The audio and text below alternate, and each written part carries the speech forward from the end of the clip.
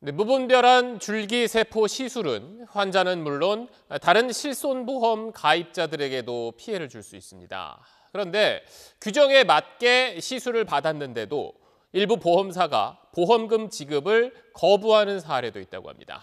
계속해서 조동찬 의학 전문 기자입니다. 60대 박모 씨는 지난 3월 양 무릎에 줄기세포 시술을 받았습니다. 왼쪽은 주사를 맞기 전에 관절 내시경으로 염증 제거술부터 받았습니다. 여기는 주의세 아 여기 여기 여기 양쪽으로 네, 째고 째고 그런데 이게 화근이 됐습니다. 실손보험사는 양무릎 모두 줄기세포 치료 대상인 건 인정하지만 왼쪽은 관절 내시경 수술을 받았으니 줄기세포 시술비를 못 준다는 입장입니다. 하지만 신의료 기술을 인증하는 한국보건의료원의 고시 어디에도 내시경 수술을 병행해서는 안 된다는 규정은 없습니다.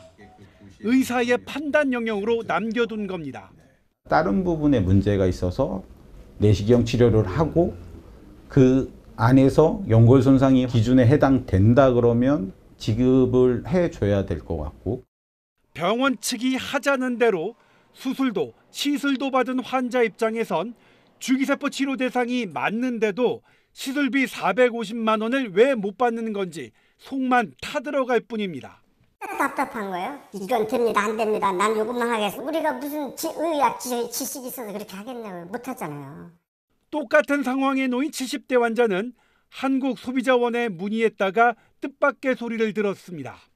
자가골수 관련하는 것들은 보험금 지급을 안 하려고 하고 있습니다.